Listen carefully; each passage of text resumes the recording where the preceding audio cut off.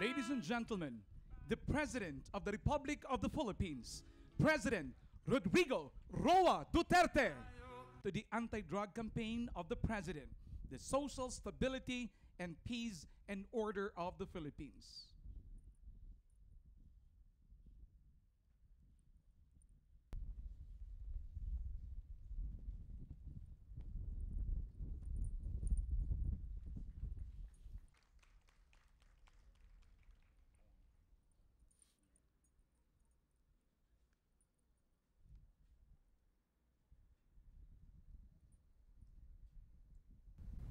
I will build a city that is peaceful.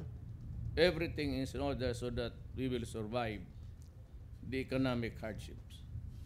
So I said, go out of the city if you are into drugs or if you are into kidnap or ransom.